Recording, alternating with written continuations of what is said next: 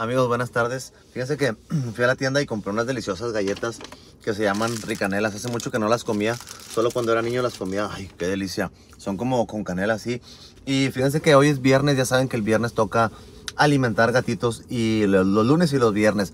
Yo no sé si los gatitos están trayendo camaradas, amigos o cómo está la onda. Ya van, ya tengo cinco identificados. Hay una, hay una blanca, hay una blanca con, con unas manchitas, hay una que tiene tres colores, hay uno negro y ahorita acabo de ver a otro nuevo que nunca había visto y el contenedor está casi vacío, así que fuimos, compramos dos. Ahora creo que ya se están comiendo tres bolsas de estas por, por semana aquí en la bodega y tal vez debía haber comprado tres para que dure toda la semana. Y lo malo es que Isidro no está, salió de vacaciones, así que no hay nadie. Miren, ahí va un gatito, uno chiquito blanco, hay un chorro. Eh, ya se fue corriendo. Eh, movieron unas cosas de aquí y salió corriendo el gatito. Y no hay nadie que los alimente. Ya Isidro ya se hacía cargo ahorita. O sea, de que si estaba vacío el contenedor siempre les pone.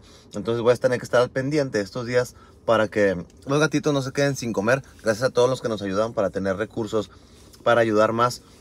Y ahora que digo esto, hay un mensaje de una persona que... Pero ya le contesté y no me contesta por Facebook que dice que tiene 25 perros y no sé qué tantos gatos y no tiene para darles de comer.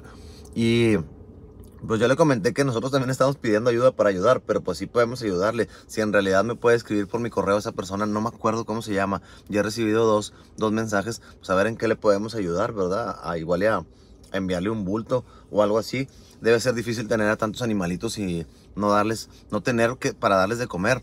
Digo, la verdad yo me pongo a pensar en esas situaciones y si yo tuviera, pues tengo 15 y si no tuviera para darles de comer, a mí no me daría pena ir a tocar casa por casa y decir, oye, pues eh, tienes sobras de comida en el refri o algo de ayer o cualquier cosa para alimentar a los animales. Hay unas personas que están en la Ciudad de México que tienen a 150 animalitos y ellas así le hacen. Van a las colonias pues de recursos más altos y tocan en la puerta y no piden donativo, no piden dinero, piden croquetas o piden eh, comida que te sobre, ¿verdad? Para alimentar a los animales y así le hacen para sacar adelante a sus a su a su manada gigantesca que tienen, ¿verdad?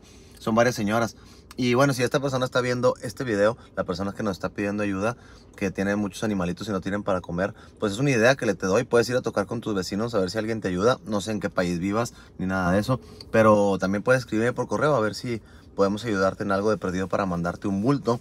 Que pues un bulto no es mucho para 25 animalitos, pero a lo mejor le dura 2-3 días un empujón, para dar un empujón. En fin, gracias a todos los que nos ayudan para seguir alimentando. Acuérdate de hacer tu parte, lo que hagas cuenta un minuto para ti, 10 dólares para ti o 150 pesos, 200 pesos, pero puede ser la vida para ellos.